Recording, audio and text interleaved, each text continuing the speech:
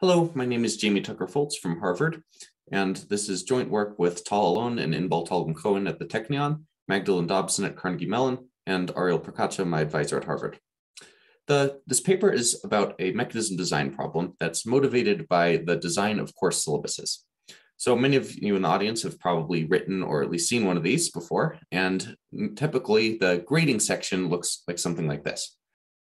There's several subcategories that the students are graded on, and they get combined into a total grade, usually via some linear combination of the subgrades. And so the question I want to ask is, why do we even do this? What is the point of making it 30%, 10%, 25%, 35%, et cetera? Can we do something better?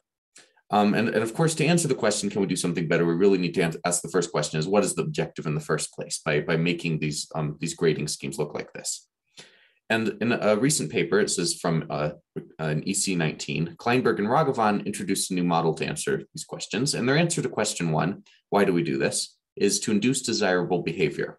The professor has in mind what they, some behaviors that they want the students to do. And they think by weighting the, the grades in just the right way, they can in, in, induce them to, to, to behave in these desirable ways. And so our paper is based on this model, and it's a broadly applicable model where you have an evaluator, think of that as the teacher, that must design some mechanism to evaluate an agent, think of that as the student. This will be the teacher student is the running example throughout this talk. So Kleinberg and Raghavan uh, show um, a lot of nice results about how you solve this mechanism design problem. And they also give a polynomial time algorithm um, to find a good mechanism, given information about how the student's um, effort translates into the things that the evaluator is able to observe. And so our paper is extending this model to consider multiple types of agents. Okay, the, the, the prior work was only in the case where all agents have the same type. And we find that there are surprising new challenges. Um, a lot of the things that uh, hold in the one agent case do no longer hold with multiple agents, and they require some new innovations to overcome them. So the um, I want to start by just uh, briefly out, outlining what, what this model is. And so in the model, you have uh, agents investing effort into actions. Okay, and some of these actions, which are frequently write in green, are good actions, um, and some of the actions in red are bad actions, and we want them to take the good actions.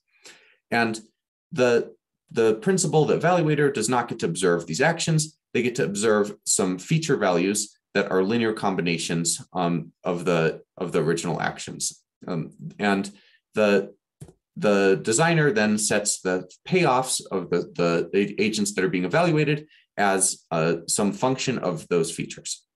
And so as a computational problem, the input can be thought of as what are the set of actions, what are the set of features, and how do the actions convert into features? How does the effort convert? And the output is what the designer is trying to find, how to incorporate these feature values into a payoff such that the agent wants to only choose the, the green um, admissible actions. Okay, that's, that's the designer's goal.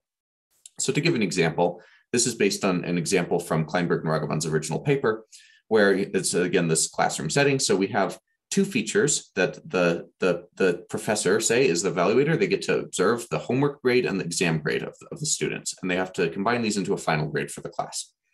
And we suppose that there are three actions the students can take. We would like them to study the material, that's the admissible action, X2, but they could also cheat on the homework, X1, or cheat on the exam, X3. And what the student chooses after reading the course syllabus and finding out how they're going to be graded, they're going to choose an effort profile, um, X1, X2, X3, um, is the amount of time they're spending on, on these three actions. And we assume without loss of generality that they have one unit of effort to divide among these three actions. And then so for this instance of the problem, we, we might suppose that this is how the, the effort converts for the students. So for example, the feature F1, the homework grade, is going to be nine times the amount of time that the student spent cheating on the homework, plus six times the amount of time the student spent studying the material. And so you can see here in this instance that the studying will help both features and cheating will only help one of them. So it's a, it's a kind of realistic example. And so what does the what does the designer do? What does the professor do? They're trying to come up with some mechanism of these that takes as input these feature values F1 and F2 um, to incentivize all agents to choose the profile 010. So all action is invest all effort is invested into X2, the, the one admissible action. And so if you stare at this, you might think, okay, what, what, what is the professor going to do here? Well, you can see that um, for either the homework grade or the exam grade, cheating for to improve that score is yields a higher marginal benefit than studying the material. So if the grade is just based on one of these two, um, then that's not going to work. The, the student will want to cheat. But uh, so they have to combine them both because studying the material helps both actions. So you might say, okay, let's let's weight them equally. Um, well, then you can see, okay, cheating on the homework has a marginal benefit of nine towards the final grade, whereas studying the material has a marginal benefit of six plus two, which is eight. So that's still not going to work. But if you uh, weight them just so, if you say the final grade is, is three F1 plus five F2, um, then you can check that uh, studying the material is the best action and all effort should be invested into this action. Why is this? Is because cheating on homework will give a marginal benefit proportional to nine times three, which is 27 cheating on the exam will give five times five, which is 25. Whereas studying material, you get six times three plus two times five, which is 28. So all, all the students will want to um, incentivize, invest all their effort just in X2. So the, the this is the, the solution to this problem, but uh, and, and it involved this nice linear combination of, of the two feature values but we can ask for a more broad class of mechanisms that the, the evaluator can choose from. And in the original paper, um, Kleinberg and Raghavan presume that any such mechanism should be monotone, which means that a higher feature values should yield higher scores, and plus another technical condition, which I don't want to talk about right now.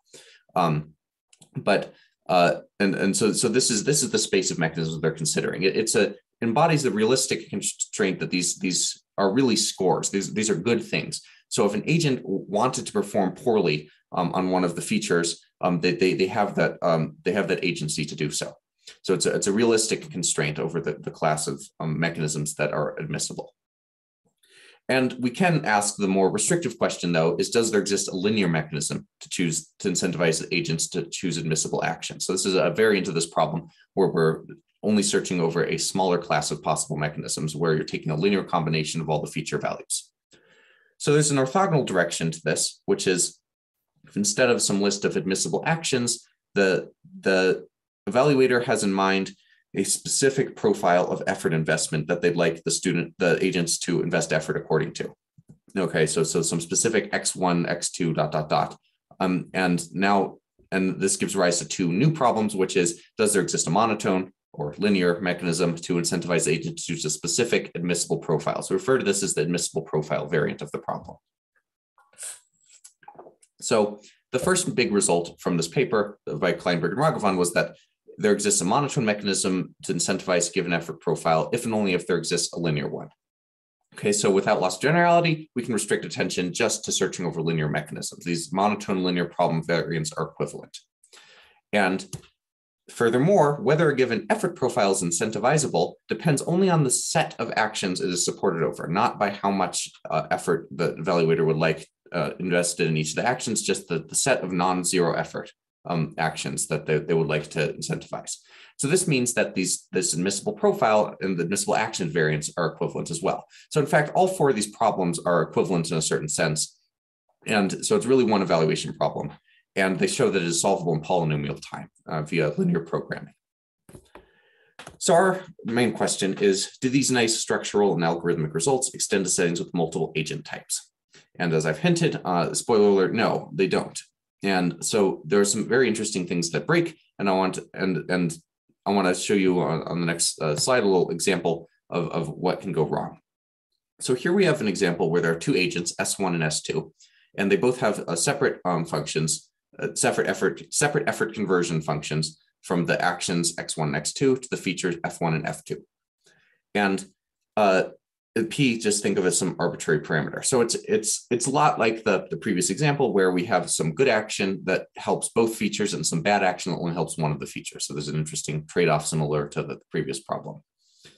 Um, so First observation is that there exists a linear mechanism that will incentivize either agent to choose the profile 1, 0. Okay, so if we just care about S1, for example, and we want them to spend all the effort on X1, we just basically say, okay, the score is just equal to F1. Okay, this is monotone, this is linear, that's all, it's all good.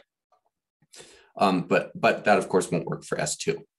If P equals um, 6, uh, then you can work out that there is a linear mechanism that will simultaneously incentivize both agents to invest effort only into X1.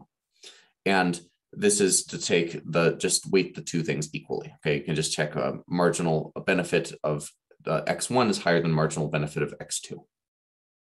So so far so good. This is this is nice, but now let's change p. So if p is equal to four, uh, then it turns out that there is not a single linear mechanism that will simultaneously incentivize both agents to choose X, the action X1 and not invest any effort into X2. So to prove this, we suppose that we do have some mechanism, which is of which is so we're assuming it's linear. So we say, okay, it's some beta one times the value of feature F1 times plus beta two times the value of F2. And then we just look at incentives. So if we want S1 to prefer X1 to X2, then it better be that the payoff they receive from X1, which is four times beta one plus four times beta two, that will be the, their total payoff from investing into X1 is greater than or equal to nine beta two, which is their payoff from X2. And so just simplifying that equation, that, that is equivalent to four beta one is greater than or equal to five beta two. And there's some symmetry here, and you can just check analogously that for agent S2 to prefer investing effort only into X1, we better have four beta two greater than or equal to five beta one. So looking at these two equations, there's an inconsistency here. The only non-negative betas that will satisfy these equations is setting both of them equal to zero. Okay, so, so this is kind of a stupid mechanism. This is the evaluator saying, okay, your score is going to be zero no matter what you do. So therefore, uh, it's it, it's good if you, it, therefore you're weakly incentivized to invest effort into X1. And this is not a kind of solution we would like to admit. And in fact, if you look at the, the technical definition of monotonicity, this will violate the, the technical condition I swept under the rug earlier. There has to be some way to improve your score uh, just to rule out uh, these these tri- this trivial sort of mechanism. So this is actually not a solution. Um, so in fact, there is no linear mechanism that will incentivize both agents to choose x1. However, there is a nonlinear mechanism that is still is monotone, namely uh, taking the min of f1 and f2. Okay, so this you say the score is the minimum of your two feature values. And now it's it's pretty obvious that um, X1 is, is the best action. You should invest all effort into X1 because investing more effort into X2 will just improve F2 greater than F1 and, and won't improve the minimum at all. Um, and this holds for both agents. Um, so that this this is the this is this is a solution. So we've already seen a violation of this first theorem of Kleinberg and, and Raghavan in the setting of just two agents where we have to not restrict attention only to linear mechanisms, we have a larger class of mechanisms to search over. So this makes things very much more difficult. Um, and at p equals one, it turns out there's not even a monotone mechanism at all. Okay, so I want to go through the proof of this because it's instructive to um, uh, the main uh, theorem of our, our, our paper uh, characterizing when a monotone mechanism exists. So we suppose that there is some monotone mechanism towards a contradiction. Um, and we don't get to say it's of some form beta 1 F1 plus beta 2 F2. It's just any monotone mechanism at all. So I'm going to consider the following um, profiles here. So think of the, the, profile 1 0 is what we'd like the agent to invest effort into. And 1 half 1 half is not an admissible profile because they're spending half their time on the bad action. Okay, so for agent S1 to prefer 1 0 to 1 half 1 half, it must be that whatever the payoff they get from playing that, which is m of 4 1 because if they play 1 0 then they get uh, 4 value on feature 1 and 0 and, and 1 value on feature 2 um, then m of 4 1 must be greater than or equal to m of 2 5 because 2 5 is the feature vector they get by playing 1 half 1 half and check that monotonicity now kicks in and says that whatever m of 2 5 is if, if m is going to be monotone that better be strictly greater than m of 1 4 Okay, so, and then we symmetrically argue the same thing for S2 and get that M of 1, 4 is strictly greater than M of 4, 1. Okay, so we have a contradiction. So generalizing this proof, a little pictorial uh, diagram here of, of, of, how the what, what just happened is we had a situation where S1 is choosing some inadmissible profile, one half, one half is a bad profile, and scoring the feature vector 2, 5. Whereas S2, if they choose the admissible profile, scores 1, 4. And the key observation in the proof was that 2, 5 is strictly higher than um, 1, 4. Okay, so whenever this happens, we say that S1 imitates X, S2. Okay, so the just to add in some notation here, um, we're going to call this uh, F upper S1 is an F upper S2 are the, the how are the effort conversion functions from this, these profiles into feature vectors. I'm going to call that admissible profile X star. Okay, so it's some function that says given any agent, what is the action we would like X star to take? I'm going to call that inadmissible profile X. So the, the, the full definition here is that we fix some admissible pro action profile X star of S for every agent S in some, in some set of agents S, capital S. And we say that S1 can imitate S2 with respect to X star if S1 can play an inadmissible action profile X such that F upper S1 of X is bigger than F upper S2 of X star of S2. And from this, we define, um, given any fixed um, function X star, we define the imitation graph with respect to S, X star to be the directed graph where you have S as the set of um, vertices, and we have an edge from S1 to S2 if and only if S1 can imitate S2. So uh, in this uh, little example here, that the p equals one example, this was the imitation graph. We had a situation where S1 could imitate S2 and S2 could imitate S1. And if you look carefully at the proof that I gave, uh, the fundamental observation is that it has a cycle. And this is a very general argument. If you have a cycle in the imitation graph, it's not going to be possible to incentivize all agents to invest effort um, according to X star. So um, this is the, I've almost completely proved this easier direction of this theorem, which shows that the converse also holds as well.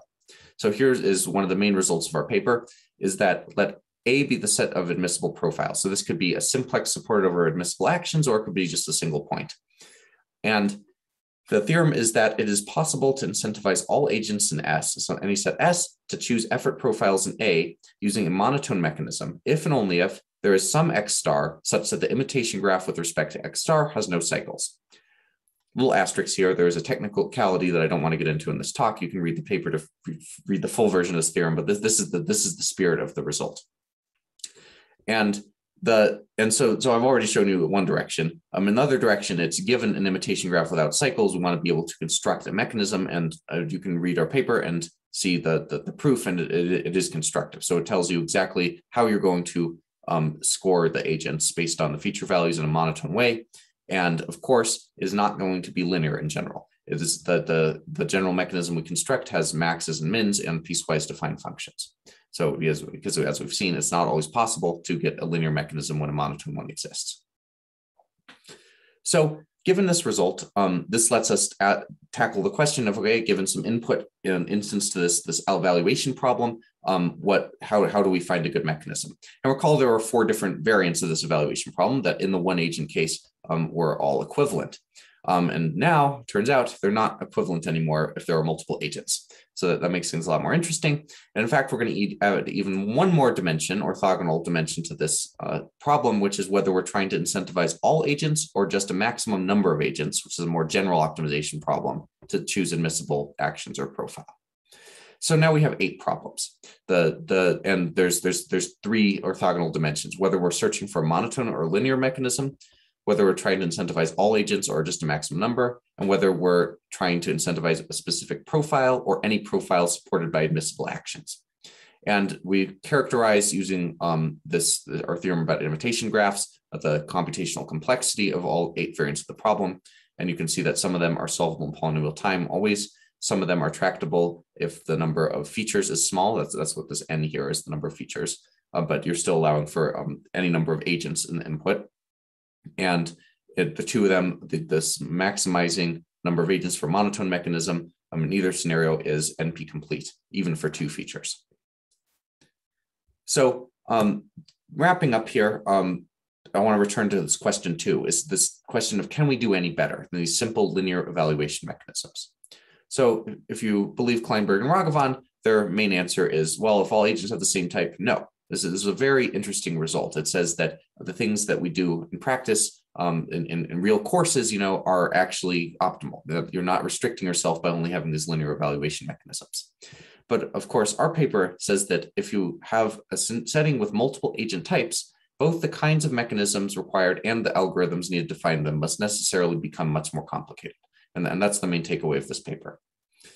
There's a, a few uh, extensions you can consider on making the model richer, or and there's an interesting um, approximation problem that, that we can consider that um, we have that that would be an interesting question to study for future work. But I'll end there and happy to take any questions. Thank you.